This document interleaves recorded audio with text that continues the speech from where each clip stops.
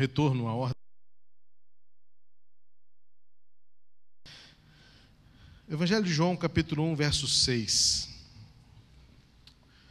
Hoje é dia do pastor.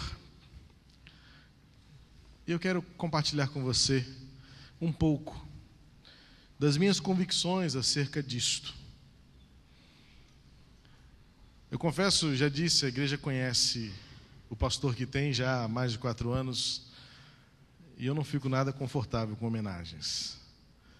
A Ruth sabe disso, minha equipe sabe disso, meu ministro de música briga comigo por causa disso, dizendo que eu deveria ficar mais à vontade, mas, como disse a Ruth, dia do pastor é todo pastor, todo, todo dia.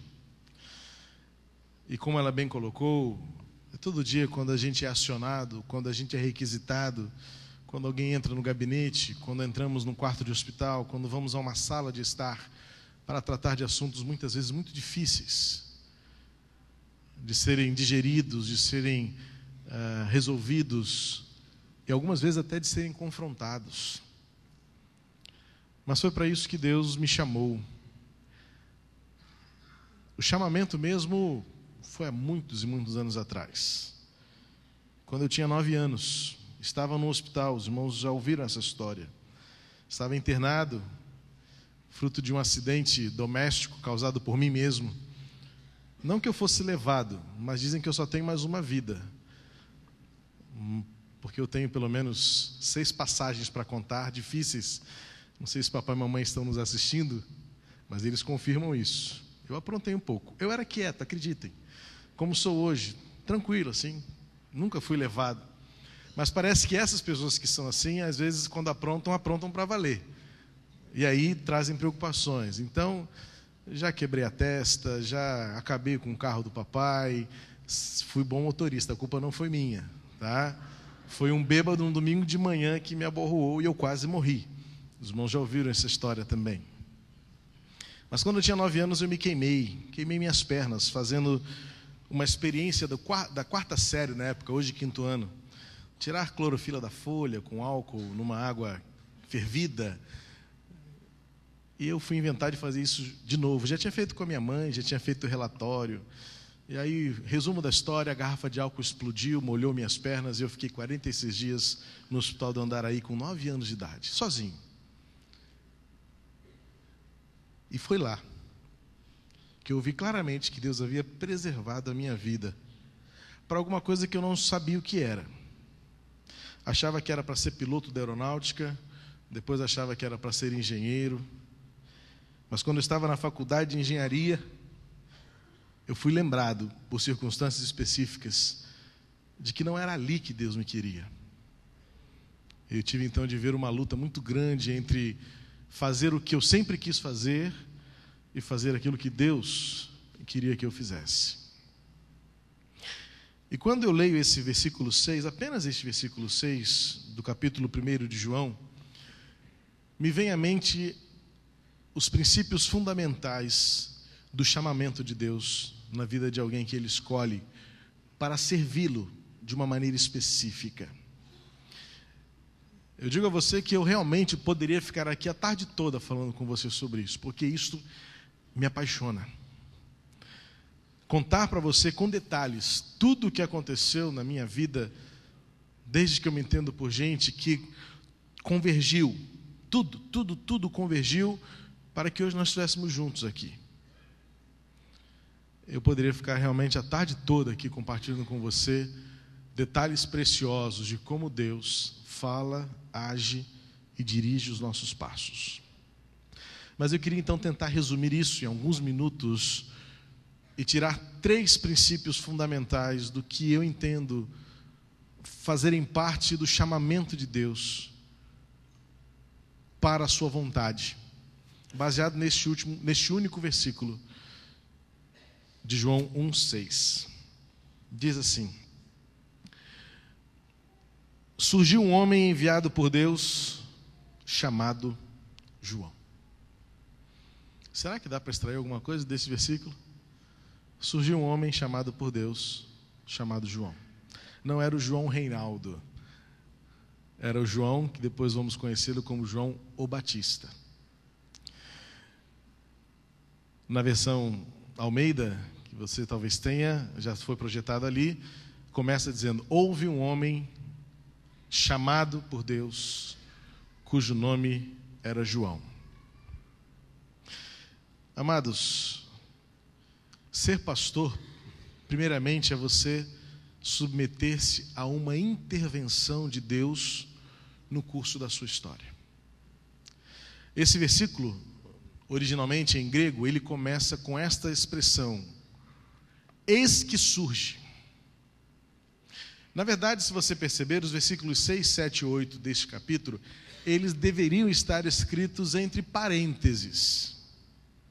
Porque é um capítulo que vai falar sobre a revelação de Deus por meio de Jesus o Verbo que se tornou carne e habitou entre nós. Vimos a sua glória como a glória do unigênito do Pai. Veio para os que eram seus, mas os seus não o receberam. Ele é a luz que ilumina as trevas. E aí, de repente, no versículo 6, o evangelista fala de um tal João. E depois do versículo 8 ele fecha parênteses para de novo voltar a falar deste Jesus que veio para ser a palavra de Deus no mundo. João Batista não foi a palavra, não foi a luz, mas ele foi enviado por Deus para dar testemunho desta realidade gloriosa. De um Deus que ama o mundo a ponto de enviar o seu próprio filho para morrer. O versículo 6, começando com esta expressão, eis que surge, e colocado principalmente entre parênteses numa narrativa maior, leva-me a perceber que o chamado de Deus é uma intervenção na minha história, na história do seu povo, na história da humanidade. Salomão, escrevendo os seus provérbios, fala que o coração do homem pode fazer planos, mas a resposta certa sai da boca do Senhor. Amados, você precisa acreditar nisso. Eu não sou pastor porque eu quis. Sou pastor porque um dia resolvi obedecer. Não sou pastor porque meus pais quiseram. Nunca eu ouvi deles qualquer insinuação a esse respeito, e Deus é testemunha. Quis ser piloto da aeronáutica, meus pais, com sacrifício, investiram num curso preparatório. Quis ser engenheiro, meus pais, com sacrifício, investiram num bom segundo grau da época, hoje ensino médio, para que eu me preparasse. Inclusive, com no último ano, um curso especializado preparatório para o vestibular. Não sou pastor porque outras portas se fecharam, porque eu passei a época, e digo isso com humildade, Deus sabe. Passei no primeiro vestibular discursivo da história para uma universidade pública, gratuita. Uma das melhores, um dos melhores cursos de engenharia que existia, não sei hoje qual seria essa avaliação, mas existia na época no Brasil, na Universidade do Estado do Rio de Janeiro. Estava cursando e fazendo o que eu sempre gostei de fazer os irmãos sabem o quanto eu gosto de obras. Mas sou pastor porque Deus interveio na minha vida e mudou a minha história. Não para que se cumprissem a minha vontade, os meus desejos, os meus sonhos, mas que se cumpra na minha vida a vontade e o desejo de Deus. Portanto, quem é pastor de verdade, e eu espero ser, quero ser, aspiro ser, não é pastor porque quer. Não é pastor porque outras coisas deram errado na sua vida. É porque em algum momento Deus interveio na história da minha vida para dizer: não é o que você quer, mas é o que eu quero. Isso acontece com vocacionados, isso acontece com missionários, isso acontece com empresários que largam suas empresas para um ministério específico, para viverem pela obra, para a obra e da obra de Deus, com seriedade e com responsabilidade. É por isso que esse versículo 6 começa com uma expressão temporal. eis que surge o Deus que interveio na história da humanidade para trazer João para preparar o caminho de Jesus. Eis que surge alguém em quem Deus interveio na história para mudar a história da sua vida. E João pagou um preço caro por ter obedecido ao Senhor. Por isso, para mim, está lá no meu blog, a minha máxima do ministério, do chamado de Deus é correr risco por fazer a vontade de Deus. Risco de não ser compreendido, risco de ser mal compreendido, risco de ser mal interpretado, mas risco de fazer a vontade de Deus a todo preço. Mas algo importante nesse versículo para mim, tão curto. Eu quero então que você destaque comigo nesse versículo o que para mim são os três princípios fundamentais do chamamento de Deus, da voz que nos convoca, da voz que nos chama. É Deus que intervém na nossa história, mas o chamado de Deus é para homens e mulheres. O primeiro destaque que eu quero fazer nesse versículo para você nesta manhã, meu querido irmão, minha ovelha, é que alguém que atende o chamado de Deus não pode se esquecer da humanidade deste ministério. Somos homens. E justamente porque somos homens, somos imperfeitos somos limitados, somos fracos. Não conseguiremos estar em todos os lugares ao mesmo tempo. Não conseguiremos adivinhar todos os pensamentos, aliás, nenhum, um quer que seja. Um homem que deve reconhecer as suas limitações físicas, emocionais e também espirituais. Eu lembro-me que no seminário havia colegas que no primeiro dia do seminário mudavam até o tom de voz. Bom dia, meus irmãos. Parece que há uma, um, uma metamorfose em que alguns esquecem-se de que são homens naturais, imperfeitos, falhos, que se cansam, que têm fome, que sentem frio, que erram e que precisam muitas vezes voltar atrás. Ou se não for possível voltar atrás, pedir perdão. E se não for o caso de pedir perdão, serem perdoados. Eu lembro-me que alguns anos atrás, nossa querida Selma Pascoal, à frente deste momento, disse, e essa frase me carimbou com ferro quente: Pastor é alguém que sempre estará em débito. Eu posso estar em todos os lugares que a minha agenda permitiu em um dia, mas se eu faltar em um, pastor não veio. Eu posso acertar em 20 projetos, se eu errar em um, pastor fracassou. E acredite, o primeiro a me acusar sou eu mesmo, porque eu nunca perco de vista o quão limitado, o quão fraco, o quão falho eu sou. Eu quero pedir à igreja que nesse dia renove em seu coração a consciência de que eu sou homem.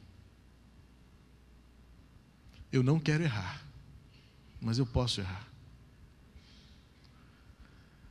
Eu não quero falhar, mas eu vou falhar.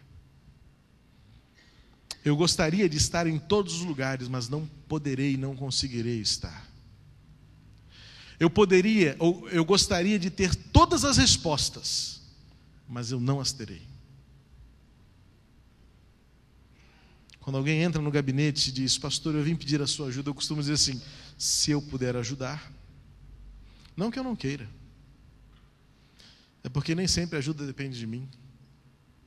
Depende talvez de eu ter uma resposta para você e necessariamente depende da sua disposição em fazer aquilo que eu creio ser certo. E assim como foi triste para Jesus ver aquele jovem rico dar as costas e dizer: Não, isto é pesado demais para mim, também é triste para nós.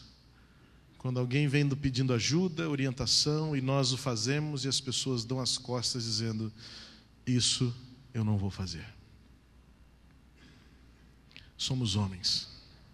Eu, Pastor Marcos, Pastor Pedro, Pastor Wilson, Pastor Valdomiro, e tantos outros que já passaram por aqui, Pastor Fernando, somos homens.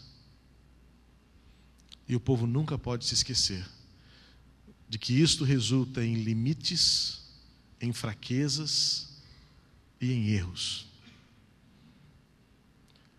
Mas se há alguma coisa em meu coração que me move, que me motiva, é que eu quero acertar.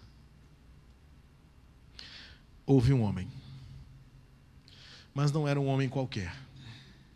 Não era um homem diferente. Era um homem até esquisito. Porque você pode imaginar o que era alguém já naquela época comendo mel e gafanhotos e se vestindo com peles de camelo? Um louco. O próprio Jesus disse isso. E é interessante como, desde que o mundo é mundo, gente é gente.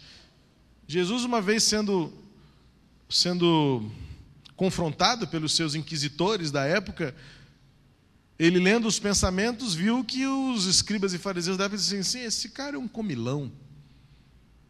Vive na festa, só quer saber de, de estar no meio de gente esquisita. Festa estranha com gente esquisita e um doido lá no meio, comendo, rindo. Que história é essa? Jesus, lendo o pensamento, fala assim: vocês não sabem o que querem, né? Veio um antes de mim, que não comia, não bebia, não estava com ninguém, vivia no meio do deserto, falando coisas que vocês não conheciam, vestindo pele de camelo, comendo gafanhotos e mel, e vocês o chamavam de maluco. Agora venho eu, que estou no meio de vocês, me alegro com vocês, participo de festas com vocês, faço o que vocês fazem, ando com gente como vocês são, e vocês dizem que eu sou o quê? Filho de Beuzebu. Vocês não sabem o que vocês querem.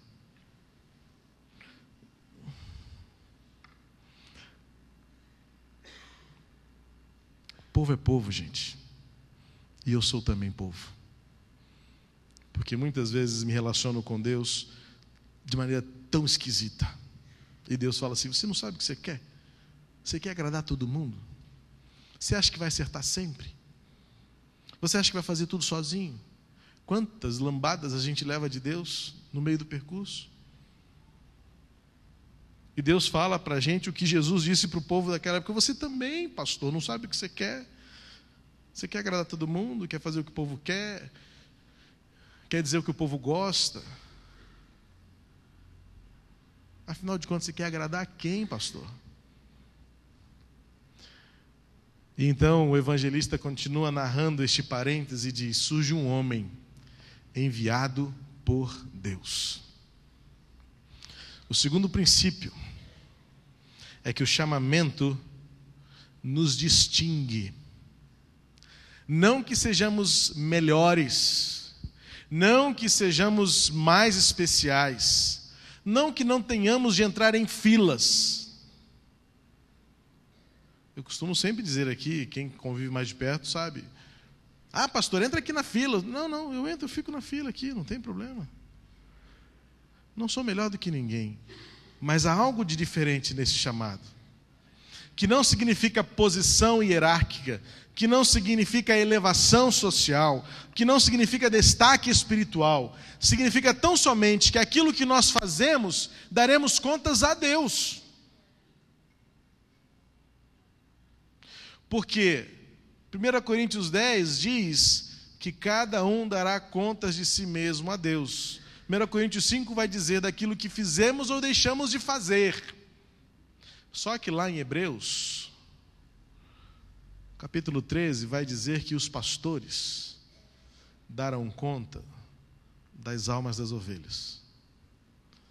Significa dizer que além de dar conta de mim, eu vou ter que, não sei como é que vai ser isso, mas eu vou dar conta de você também. Como é que vai ser isso? O chamamento, e a palavra aqui é apóstolos, traduzida por enviado. Você pode de apóstolo, por favor, aprenda de uma vez por toda. Liga para a rádio para ensinar isso. Fala com o seu colega de trabalho. Para de palhaçada.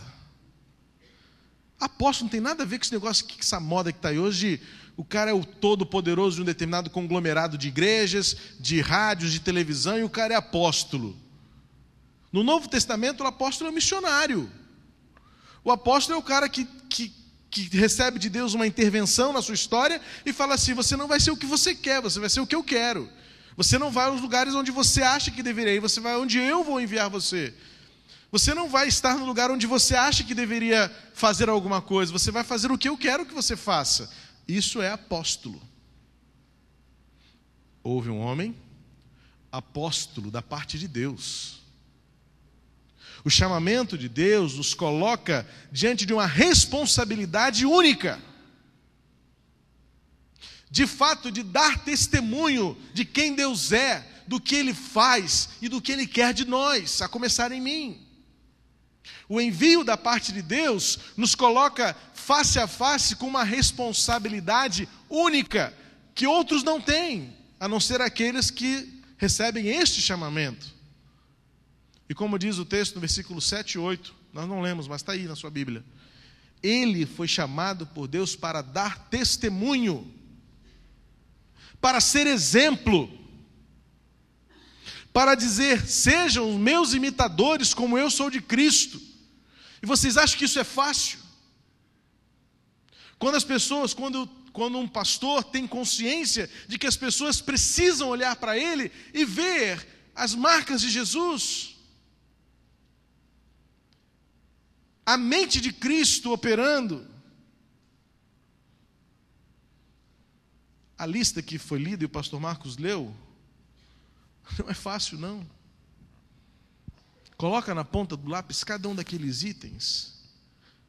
E entra o caráter divino, então, que não é pela nossa força, pela nossa capacidade, mas pela pessoa de Deus na nossa vida. O que fomos, o que somos, o que fazemos, não tem nada a ver com a nossa capacidade.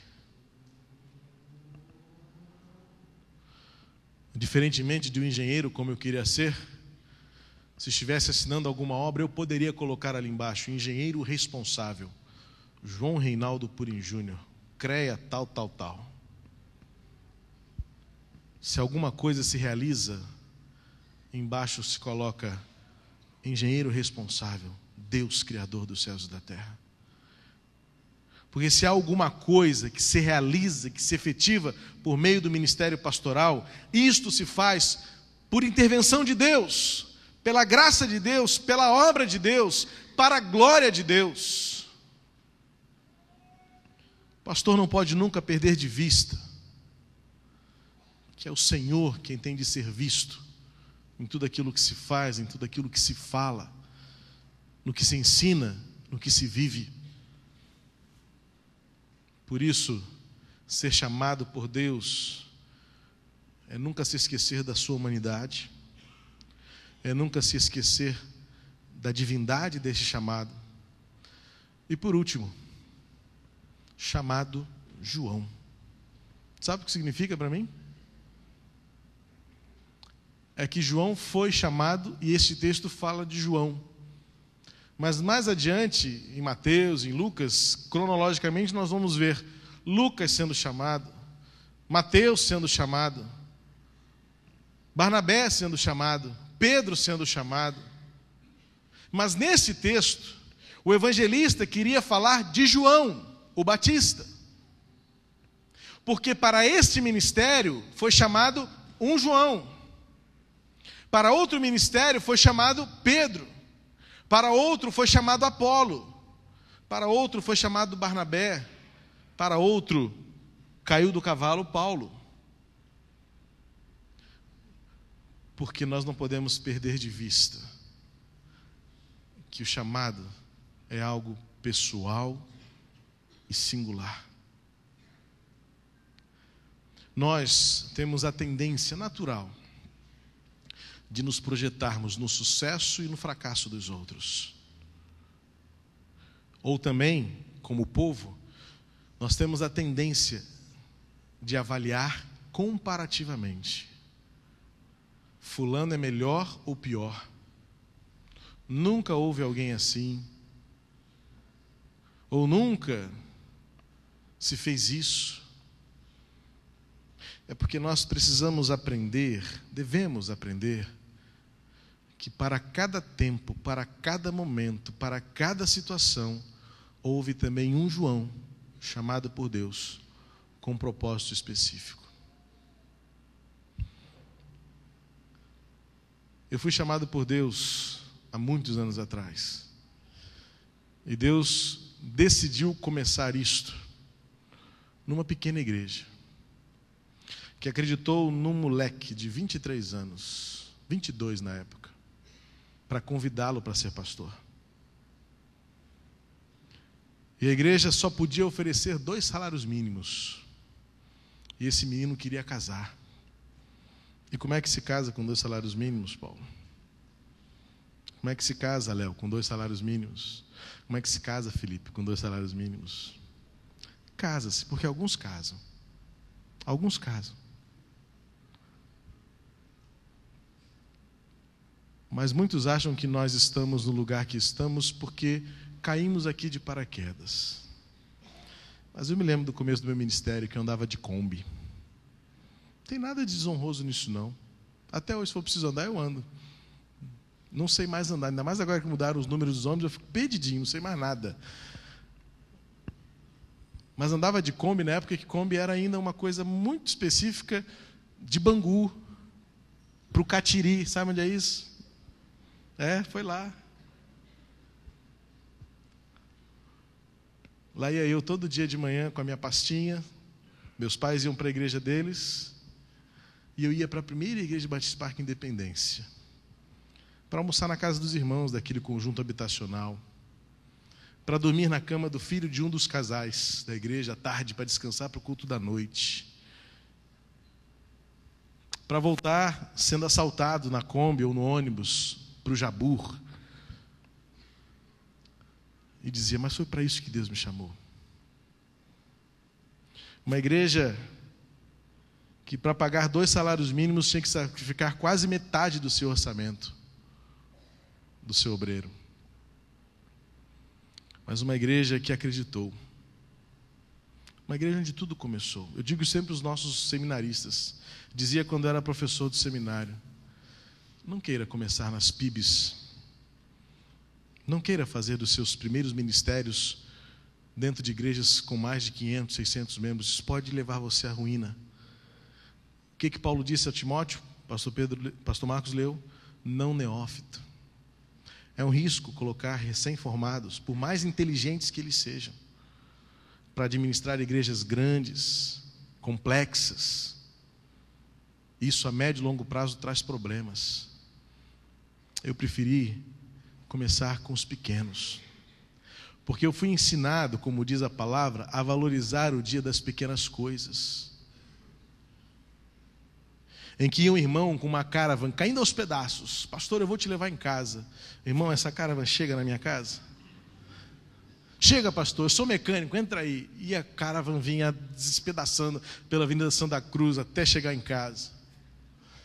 Mas como era gostoso ver na humildade daquele povo a alegria de ser igreja. Ir em casas de famílias que não tinham o que elas próprias comerem, mas quando o pastor ia, tinham café com biscoito. E era tudo feito com tanto carinho.